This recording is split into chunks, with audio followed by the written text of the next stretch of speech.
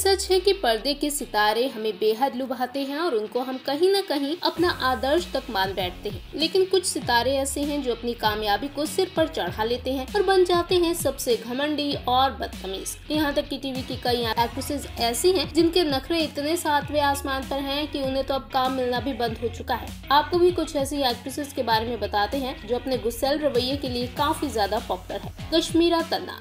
अपनी खूबसूरती और सेक्सी फिगर के लिए ये मशहूर एक्ट्रेस और टीवी की सबसे कामयाब एक्ट्रेस में इनकी गिनती होती है। लेकिन उतनी ही मशहूर है ये अपने अड़ियल और घमंडी स्वभाव के लिए। कई बार करिश्मा का घमंडी अवतार लोगों ने देखा है। बिग बॉस में भी इनके अड़ियल स्वभाव के चलते सब इनसे परेशान थे। हिना खान। ये बेहद कामयाब एक्ट्रेस हैं, लेकिन वो अपने झगड़ालू नेचर के लिए भी जानी जाती हैं। बिग बॉस में भी ये अपने जलवे दिखा चुकी हैं और इनके एटीट्यूड में ही घमंड लोगों को साफ़ झलका था। अंकिता लोखंडे, इन्होंने शो भले ही एक ही किया हो, लेकिन अपने घमंड में ये कोई कमी नहीं लाती। शो पवित्र रिश्ता ने इन्हें घर घर तक बहुत मशहूर किया था, लेकिन अंकिता लोखंडे को भी लोग कई बार घमंडी ही कहते हैं। निया शर्मा।